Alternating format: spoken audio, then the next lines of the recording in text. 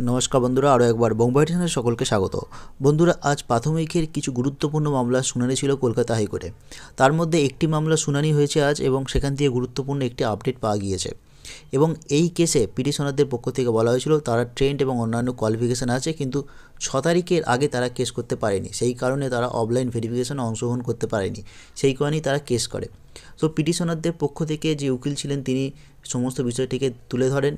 এবং সেখানে বলেন যে দু হাজার চোদ্দ সালে যে পরীক্ষা হয়েছিল, সেখানে রিল্যাক্সেশন ছিল, অর্থাৎ যারা নন টেন তারা পরীক্ষা পেয়েছিল এবং সেই রিল্যাক্সেশন ছিল দু হাজার ষোলো সালে একত্রিশে মার্চ পর্যন্ত।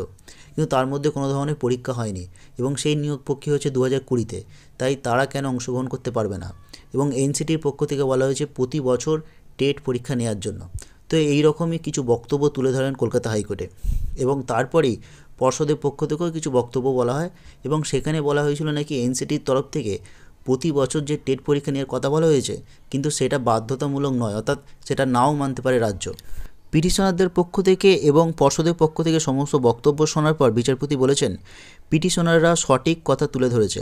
আদালত মনে করে প্রতি বছর টেন নেওয়া উচিত। ছয় জানুয়ারি পর্যন্ত যেহেতু অফলাইন ভেরিফিকেশনের জন্য কেস করার সময় ছিল এবং সেই সময় যেহেতু পার হয়ে গিয়েছে, তাই পিটিশনারদের আর পুনরায় ভেরিফিকেশনের সুযোগ দেওয়া হবে না। এবং এখানে একটি পরবর্তী ডেটও কিন্তু দেওয়া হয়েছে।